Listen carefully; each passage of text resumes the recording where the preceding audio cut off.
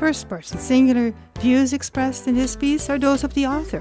When Kennedy Tripp recorded this piece several years ago, she asked, Will we ever learn from the past?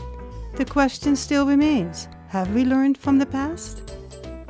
Is California suffering the same fate as the Dust Bowl of 1931?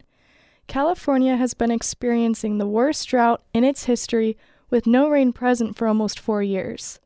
Lake Tahoe is one of the most beautiful landmarks in the state of California.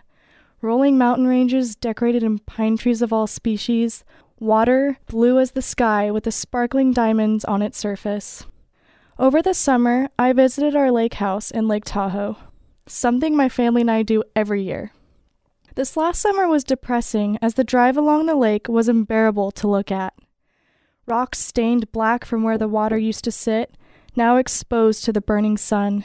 The pier that once held boats is running dry, and those boats are no longer there. I have memories of jumping off the pier at Sugar Pine State Park with my family. The thrill of looking down at the water and jumping into its cold embrace is something I will always remember. This past summer, there was no jumping off that pier. The memories of this beautiful place were almost shattered over this vacation. All we can do is wait for the rain, like those during the Dust Bowl of 1931. Kennedy Tripp recorded this while a student at Cabrillo College. If you would like to hear this or other pieces again, go to ksqd.org forward slash first dash person dash singular. If you would like to share your opinion or stories, send 240 words to first person singular at ksqd.org. For first person singular, this is Matilda Rand.